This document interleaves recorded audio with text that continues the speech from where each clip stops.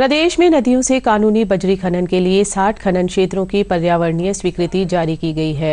अतिरिक्त मुख्य सचिव माइंस पेट्रोलियम एवं ऊर्जा डॉक्टर सुबोध अग्रवाल ने बताया कि अब पूरे प्रदेश में नदियों से बजरी के कानूनी खनन की राहत आसान हो गई है। इसके साथ ही बजरी की समस्या का समाधान भी हो गया है। उन्होंने कहा कि अब राज्य स्तर पर अनावश्यक औपचारिकता पूरी होने के साथ ही प्रदेश के सभी क्षेत्रों में बजरी का वैध खनन शुरू हो जाएगा।